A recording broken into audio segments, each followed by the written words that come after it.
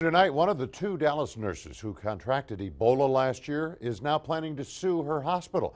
The Dallas Morning News reporting Nina Pham continues to have nightmares and anxiety after her brush with the deadly disease.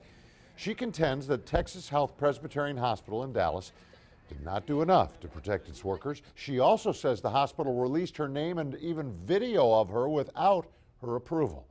According to the paper, Pham's attorneys will file the lawsuit tomorrow in Dallas. Pham telling the paper she still worries about the long-term side effects of contracting the disease.